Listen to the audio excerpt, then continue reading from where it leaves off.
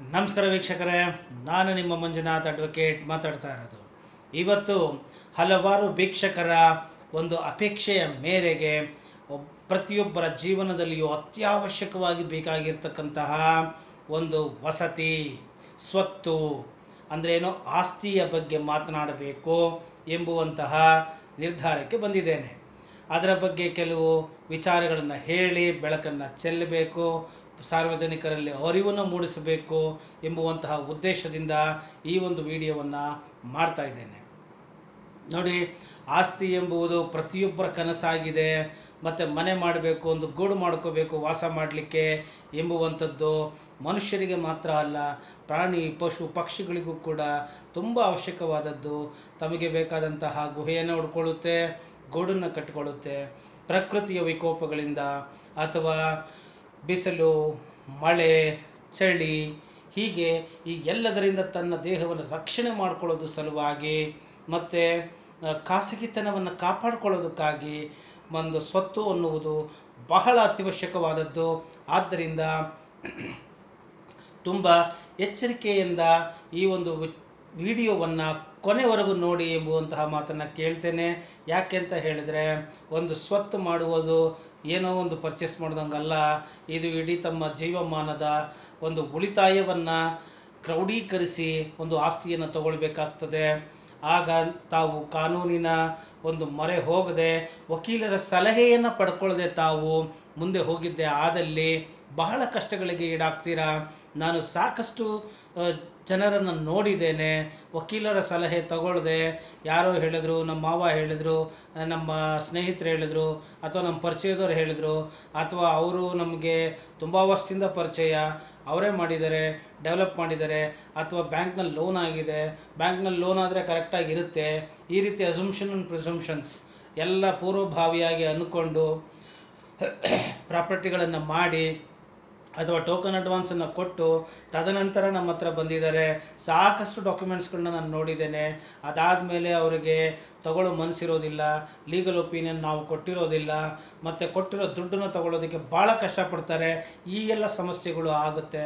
ಆದ್ದರಿಂದ ನಾನು ಕಿವಿ ಮಾತನ್ನು ಗ್ರಾಹಕರಿಗೆ ಹೇಳೋದ, ಏನು ಅಂತ ಹೇಳಿದ್ರೆ, ಇದು ಕೇವಲ ಗ್ರಾಹಕರಿಗೆ ಮಾತ್ರ ಅಲ್ಲ ಕಸ್ಟಮರ್ಸ್ಗೆ ಮಾತ್ರ ಅಲ್ಲ.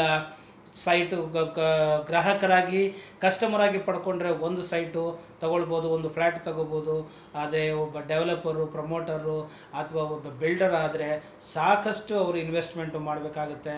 ಆದ್ದರಿಂದ ಡಾಕ್ಯುಮೆಂಟ್ಸ್ಗಳಿಗೆ ಸಂಬಂಧಪಟ್ಟಂತೆ ಸಾಕಷ್ಟು ಎಚ್ಚರಿಕೆಯನ್ನು ಎಲ್ಲರೂ ವಹಿಸಬೇಕಾಗುತ್ತೆ. ಇವತ್ತು ಒಂದು ಗ್ಲಿಮ್ಸನ್ನು ನಾನು ನಿಮಗೆ ಕೊಡ್ತಾನೆ. ಒಂದು ಆಸ್ತಿ ಪ ಖರೀದಿ ಮಾಡಬೇಕಂದ್ರೆ ಯಾವ ಡಾಕ್ಯುಮೆಂಟ್ಗಳನ್ನ ತಗೋಬೇಕು ಅನ್ನುವುದನ್ನು ಒಂದು ಕ್ಲಿಮ್ಸ್ ಮಾತ್ರ ಹೇಳ್ತೀನಿ. ವಿವರಗಳಿಗೆ ನಾನು ಹೋಗೋದಿಲ್ಲ. ಮತ್ತು ಏನು ನಾನು ಲಿಸ್ಟ್ ಆಫ್ ಡಾಕ್ಯುಮೆಂಟ್ಸ್ ಇವತ್ತು ಹೇಳ್ತೀನೋ ಅದರ ನಂತರ ಡಾಕ್ಯುಮೆಂಟ್ಸ್ಗಳು ಬಂದ ಮೇಲೆ ಆ ಡಾಕ್ಯುಮೆಂಟ್ಸ್ಗಳನ್ನ ಪರಿಶೀಲನೆ ಮಾಡಿದಾಗ ನಮಗೆ ಆ ಡಾಕ್ ಪರ್ಟಿಕ್ಯುಲರ್ ಆ ನೇಚರ್ ಆಫ್ ಡಾಕ್ಯುಮೆಂಟ್ ಮೇಲೆ ಹಲವಾರು ಡಾಕ್ಯುಮೆಂಟ್ಗಳು ಉದ್ಭವ ಆಗುತ್ತೆ.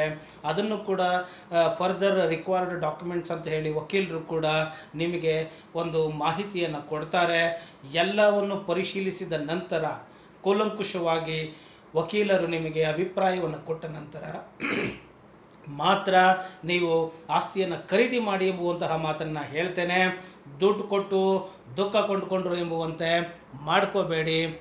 ಕೊಡೋದಕ್ಕಿಂತ ಮುನ್ನ ಮುನ್ನೆಚ್ಚರಿಕೆಯಿಂದ ಇರಿ, ಮುಂಜಾಗ್ರತೆಯಿಂದ ಇರಿ.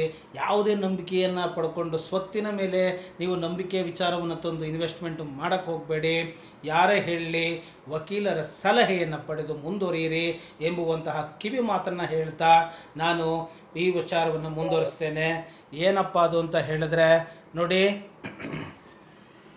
ನೋಡಿ ಈ ಒಂದು ವಿಚಾರ ಹೇಳೋದಕ್ಕಿಂತ ಮುನ್ನ ಪ್ರಥಮ ಬಾರಿಗೆ ಈ ಒಂದು ವಿಡಿಯೋವನ್ನು ನೋಡ್ತಾ ಇದ್ದರೆ ಹೇಗೆ, ಯಾವ ಸೋರ್ಸ್ ಮುಖಾಂತರ ತಮಗೆ ವಿಡಿಯೋ ಸಿಕ್ಕಿದೆ ಗೊತ್ತಿಲ್ಲ. ಆದರೆ ಈಗ ನಿಮಗೆ ಕಾನೂನು ಸಲಹೆ ಕೊಡ್ತಕ್ಕಂಥ ಒಂದು ವಿಡಿಯೋ ನಿಮ್ಮ ಹತ್ರ ಇದೆ. ಈ ಇದೇ ತರಹದ ಹಲವಾರು ಮಾಹಿತಿಗಳನ್ನು ನೀವು ಪ್ರತಿನಿತ್ಯ ಪಡಿಬೇಕು ಅಂತ ಹೇಳಿದ್ರೆ, ಹಲವಾರು ವಿಚಾರಗಳ ಬಗ್ಗೆ ನಾನು ಪ್ರತಿನಿತ್ಯ ಮಾತನಾಡೋದ್ರಿಂದ ಇನ್ಫಾರ್ಮೇಟಿವ್ ವೀಡಿಯೋಸ್ಗಳನ್ನ ನಾನು ಯೂಟ್ಯೂಬಲ್ಲಿ ಅಪ್ಲೋಡ್ ಮಾಡೋದ್ರಿಂದ ಪ್ರಥಮ ಬಾರಿ ನೋಡ್ತಾ ಇರೋರು ಮರಿದ ಹಾಗೆ ಸಬ್ಸ್ಕ್ರಿಪ್ಷನ್ ಮಾಡ್ಕೊಳ್ಳಿ. ನನ್ನ ಚಾನಲ್ನ ಸಬ್ಸ್ಕ್ರೈಬ್ ಕ್ಲಿಕ್ ಮಾಡಿ ಬೆಲ್ ಬಟನ್ನ ಕ್ಲಿಕ್ ಮಾಡಿ. ಯೂಟ್ಯೂಬ್ ಪ್ರತಿನಿತ್ಯ ನೋಡಿ ಸಬ್ಸ್ಕ್ರಿಪ್ಷನ್ ಬಾಕ್ಸಲ್ಲಿ ನನ್ನ ವಿಡಿಯೋಗಳು ಬಂದಿರುತ್ತೆ. ಪ್ರತಿನಿತ್ಯ ವಾಚ್ ಮಾಡಿ, ನಿಮಗೆ ವರ್ತ್ ಅನಿಸಿದ್ರೆ ನಿಮ್ಮ ನಿಯರೆಸ್ಟ್ ಆ್ಯಂಡ್ ಡಿಯರೆಸ್ಟ್ಗೂ ಅದರ ಲಿಂಕನ್ನು ಶೇರ್ ಮಾಡಿ ಸಬ್ಸ್ಕ್ರೈಬ್ ಮಾಡಿಸಿ, ಅವ್ರಿಗೂ ಕೂಡ ಮಾಹಿತಿ ಪಡ್ಕೊಳ್ಳೋದಕ್ಕೆ ಸಹಾಯವನ್ನು ಮಾಡಿ ಅಂತ ಹೇಳ್ತಾ ನಾನು ಲಿಸ್ಟ್ ಆಫ್ ಡಾಕ್ಯುಮೆಂಟ್ಸ್ ಯಾವುದು ಎಂಬುದನ್ನು ಹೇಳ್ತೇನೆ. ಗಮನವಿಟ್ಟು ಕೊನೆವರೆಗೂ ಕೇಳಿಸ್ಕೊಳ್ಳಿ. ಯಾಕಂದರೆ ಎಲ್ಲರಿಗೂ ಬೇಕಾದಂತಹ ವಿಚಾರ ಆಗಿದೆ. ನೋಡಿ, ಆಸ್ತಿ ಅಂತ ಬಂದ ತಕ್ಷಣ ನೋಡಿ, ಅದು ಜಮೀನಾಗಿರ್ಬೋದು ಅದು ಭೂಮಿ ಆಗಿರಬಹುದು ಅಥವಾ ಸೈಟ್ ಆಗಿರಬಹುದು ಅಥವಾ ಸೈಟ್ಗಳಲ್ಲೂ ಹಲವಾರು ವಿಧಾನಗಳುಂಟು. ನೋಡಿ, ಜಮೀನಲ್ಲೂ ಹಲವಾರು ವಿಧಾನ ಉಂಟು. ಭೂಮಿ ಅಂತ ಅಂದ ತಕ್ಷಣವೇ ಭೂಮಿನಲ್ಲಿ ರೆಡ್ ಝೋನಾ ಗ್ರೀನ್ ಝೋನಾ ಅನ್ನೋದು ಬರ್ತದೆ. ವಾಟ್ ಕೈಂಡ್ ಆಫ್ ಲ್ಯಾಂಡ್ ಅನ್ನೋದು ಬರ್ತದೆ. ಮತ್ತು ತಿರ್ಗಿ ಅದಕ್ಕೆ ಸಂಬಂಧಪಟ್ಟಂತೆ ಕೆಲವು ದಾಖಲಾತಿಗಳು ಲಿಸ್ಟ್ ಆಫ್ ಡಾಕ್ಯುಮೆಂಟ್ಸ್ ಇರುತ್ತೆ. ಇನ್ನು ಸೈಟ್ ಅಂತ ಬಂದರೆ ಅದು ಎ ಖಾತಾನ ಬಿ ಖಾತಾ ಸೈಟಾ ಗ್ರಾಮ್ ಠಾಣಾ ಸೈಟಾ B D S ಸೈಟ B M R D S ಸೈಟ, Baiyappa ಸೈಟ ಡಿ ಟಿ ಸಿ ಪಿ ಸೈಟ, ಹೀಗೆ ಹಲವಾರು ವಿಚಾರಗಳು, ವಿಧಾನಗಳು ಅದರಲ್ಲೂ ಕೂಡ ಬರುತ್ತೆ. ಪ್ರತಿಯೊಂದಕ್ಕೂ ಒಂದೊಂದು ನೇಚರ್ ಆಫ್ ಡಾಕ್ಯುಮೆಂಟ್ ಇರುತ್ತೆ. ಆದ್ದರಿಂದ ತುಂಬ ಕುಲಂಕುಷವಾಗಿ ಇದೆಲ್ಲ ನೋಡಬೇಕಾಗುತ್ತೆ. ಸುಮ್ಮನೆ ಬ್ಲೈಂಡಾಗಿ ಬಿ ದುಡ್ಡನ್ನು ಇನ್ವೆಸ್ಟ್ಮೆಂಟ್ ಮಾಡಿಬಿಡಿ ಅಂತ ಹೇಳ್ತೀನಿ. ಇನ್ನು ಮನೆ ಅಂತ ಬಂದಾಗ ಅದು ಇಂಡಿಪೆಂಡೆಂಟ್ ಮನೇನ? ಅದರೊಳಗಳು ಕೂಡ ಸಾಕಷ್ಟು ವಿಚಾರಗಳು ಬರ್ತದೆ. ಈ ಮನೆ ಗರೀಬಿ ಸೈಟಿಂದ ಬಂದು ಕಟ್ಟಿರ್ತಕ್ಕಂಥ ಮನೇನ? ಯಾವ ಒಂದು ನೇಚರ್ ಆಫ್ ಡಾಕ್ಯುಮೆಂಟಿಂದ ಈ ಮನೆಯನ್ನು ಕಟ್ಟಲಾಗಿದೆ ಆ ಮನೆ ಎಷ್ಟು ವರ್ಷದ್ದಿದೆ, ಅದು ಎಷ್ಟು ವರ್ಷಗಳ ನಂತರ ವ್ಯಾಲ್ಯೂಯೇಷನನ್ನು ತಗೊಳ್ಳೋದಿಲ್ಲ ಬ್ಯಾಂಕ್ನವರು? ಈ ಎಲ್ಲ ವಿಚಾರಗಳನ್ನ ನೋಡಬೇಕು. ಮತ್ತು ಆ ಮನೆ ಕಟ್ಟಿರ್ತಕ್ಕಂಥದ್ದು, ಆ ಬಿಲ್ಡಿಂಗ್ ಬೈಲಾಸ್ ಪ್ರಕಾರ ಈ ಕಟ್ಟಿದಾರಾ? ಕಟ್ಟಿಲ್ವಾ? ಡಿವಿಯೇಷನ್ ಇದೆಯಾ? ಡಿವಿಯೇಷನ್ ಇಲ್ವಾ? ಅಥವಾ ಇಲ್ಲೀಗಲ್ ಕನ್ಸ್ಟ್ರಕ್ಷನ್ ಆಗಿದೆಯಾ? ಇದೆಲ್ಲವನ್ನು ನೋಡಬೇಕಾಗ್ತದೆ. ತದನಂತರ ನೋಡಿ, ನೀವು ಅಪಾರ್ಟ್ಮೆಂಟ್ಗೆ ಹೋಗ್ತೀರಾ? ಅಪಾರ್ಟ್ಮೆಂಟ್ಗೆ ಹೋದಾಗ, ಫ್ಲ್ಯಾಟ್ಗಳಿಗೆ ಹೋದಾಗ ಅಲ್ಲೂ ಸಾಕಷ್ಟು ನೇಚರ್ ಆಫ್ ಡಾಕ್ಯುಮೆಂಟ್ಸ್ಗಳು ಚೇಂಜಸ್ ಆಗ್ತದೆ. ಅಲ್ಲಿ ನೋಡಿ ಕಾಮನ್ ಏರಿಯಾ ಅಂತ ಬರುತ್ತೆ. ಮತ್ತು ಸೂಪರ್ ಬಿಲ್ಟಪ್ ಏರಿಯಾ ಬರುತ್ತೆ ಬಿಲ್ಟಪ್ ಏರಿಯಾ ಬರುತ್ತೆ ಕಾರ್ಪೊರೇಟ್ ಏರಿಯಾ ಬರುತ್ತೆ ಮತ್ತು ಯು ಡಿ ಎಲ್ ಶೇರ್ ಅಂತ ಬರುತ್ತೆ ಅನ್ಡಿವೈಡೆಡ್ ಲ್ಯಾಂಡ್ ಶೇರ್ ಶೇರ್ ಅಂತ ಬರುತ್ತೆ. ಇದೆಲ್ಲವೂ ನೋಡ್ಕೋಬೇಕು. ಮತ್ತು ಕಾರ್ ಪಾರ್ಕಿಂಗಿಗೆ ದುಡ್ಡು ಕೊಟ್ಟು ತಗೋಬೋದಾ, ತಗೋಬಾರ್ದಾ? ಅದು ಲೀಗಲ್ ಆಗಿದೆಯಾ ಸುಪ್ರೀಂ ಕೋರ್ಟ್ ಆರ್ಡರ್ ಏನಿದೆ? ಇದೆಲ್ಲವನ್ನು ಕೂಡ ಪರಿಶೀಲನೆ ಮಾಡಬೇಕಾಗ್ತದೆ. ಇದೆಲ್ಲವನ್ನು ನಾನು ಇವತ್ತು ಒಂದೇ ವಿಡಿಯೋದಲ್ಲಿ ಮಾತನಾಡೋಕ್ಕಾಗೋದಿಲ್ಲ ವಿಡಿಯೋ ತುಂಬ ಲೆಂತ್ ಆಗುತ್ತೆ ಅಂತ ಇವತ್ತು ಸಂಕ್ಷಿಪ್ತವಾಗಿ ಹೇಳಿರ್ತೀನಿ. ಇದೆಲ್ಲ ವಿಚಾರಗಳು ನಿಮಗೆ ಪದೇ ಪದೇ ಪದೇ ಬೇಕು ಅಂತ ಹೇಳಿದ್ರೆ ಈಗ ನಿಮ್ಮ ಕೈಗೆ ಸಿಕ್ಕಿರ್ತಕ್ಕಂಥ ಈ ವಿಡಿಯೋನ ಬಿಡದೇನೆ. ಸಬ್ಸ್ಕ್ರೈಬ್ ಮಾಡಿಕೊಂಡು ಬೆಲ್ ನೋಟಿ ಬೆಲ್ ಐಕಾನ್ನ ಕ್ಲಿಕ್ ಮಾಡಿ ಇನ್ಫಾರ್ಮೇಷನ್ ನಿಮಗೆ ಸಿಗ್ತಾ ಹೋಗುತ್ತೆ. ಡೈಲಿ ವೀಡಿಯೋಸ್ಗಳನ್ನ ಫಾಲೋ ಮಾಡಿ ಅಂತ ಹೇಳ್ತಾ. ನೋಡಿ ಅಪಾರ್ಟ್ಮೆಂಟಲ್ಲೂ ಕೂಡ ಸಾಕಷ್ಟು ನೇಚರ್ ಆಫ್ ಡಾಕ್ಯುಮೆಂಟ್ಗಳು ಬರುತ್ತೆ.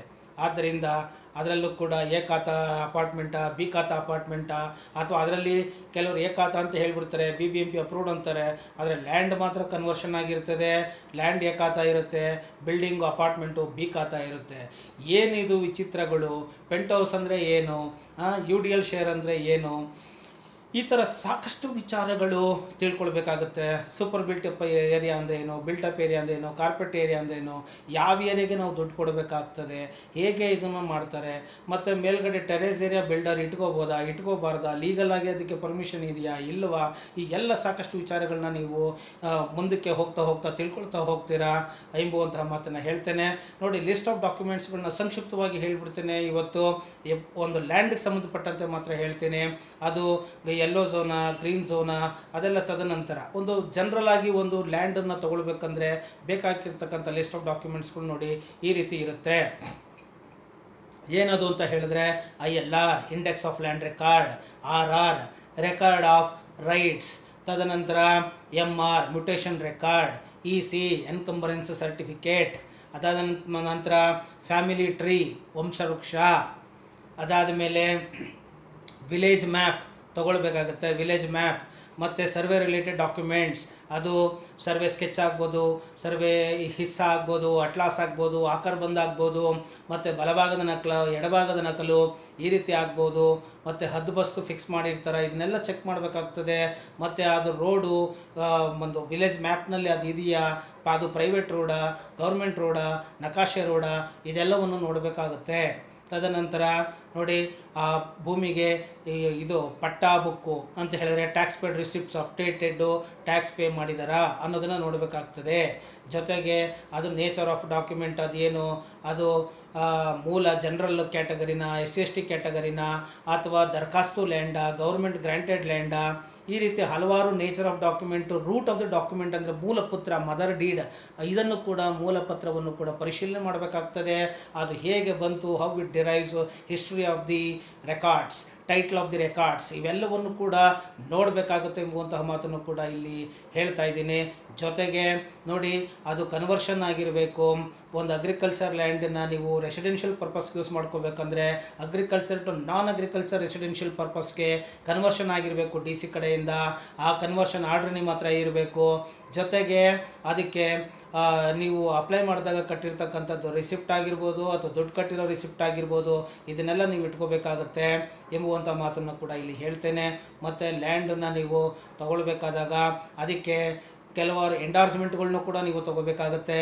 ಅದು ಏನಪ್ಪ ಅಂತ ಹೇಳಿದ್ರೆ forty eight A endorsement seventy nine A B endorsement seven A endorsement ಮತ್ತು ಎನ್ ಒ ಸಿ ಇರುತ್ತೆ. N O C from land acquisition department ಅದು ಬಿ ಡಿ ಎನ ಅಥವಾ ಇದು K D ಬಿಯಿಂದನಾ it depends on the jurisdiction of the property ಇದರ ಮುಖಾಂತರ ನೋಡಬೇಕಾಗುತ್ತೆ. ಇದನ್ನು ಕೂಡ ಈ ಸೆವೆನ್ ಏತ್ ಎಂಡೋರ್ಸ್ಮೆಂಟ್ ತೊಗೊಳ್ಬೇಕಾಗತ್ತೆ.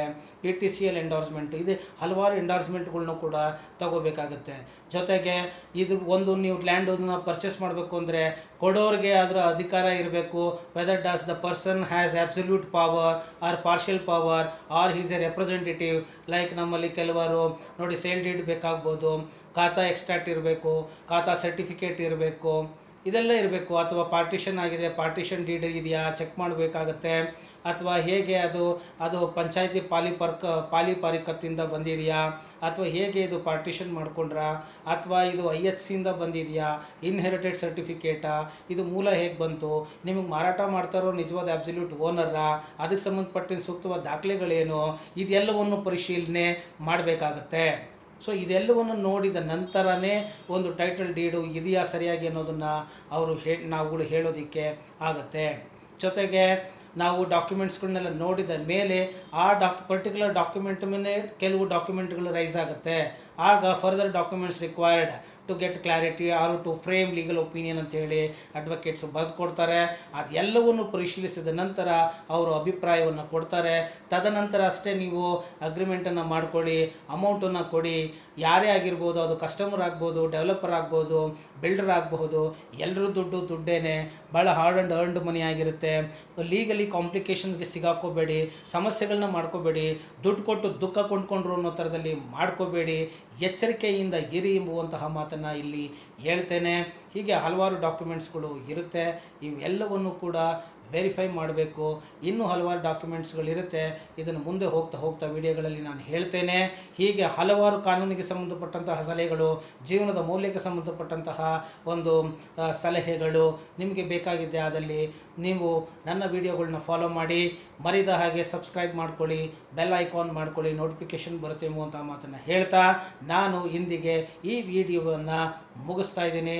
ಜೈ ಹಿಂದ್, ಜೈ ಕರ್ನಾಟಕ ಮಾತೆ.